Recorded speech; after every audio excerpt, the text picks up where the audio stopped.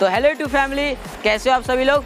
स्वागत है हमारे यूट्यूब चैनल में, फिर से एक बार। और आज हम आपको कुछ नई एक्सरसाइज बताएँगे, क्योंकि बहुत लोग मैसेज कर रहे थे कि इस एप्स व्हील की मदद मतलब से हम कोर स्ट्रेंथ एप्स एक्सरसाइज कैसे कर सकते हैं। तो इसमें मैं आपको 10 से 12 एक्सरसाइज बताएँ, जो आपको वीडियो में देखने को मिलेगा, ठीक है? अगर आप ये 10 से 12 एक्सरसाइज फॉलो करते तो आपकी कोर स्ट्रेंथ इतनी डेवलप हो जाएगी कि आप सोच भी नहीं सकते।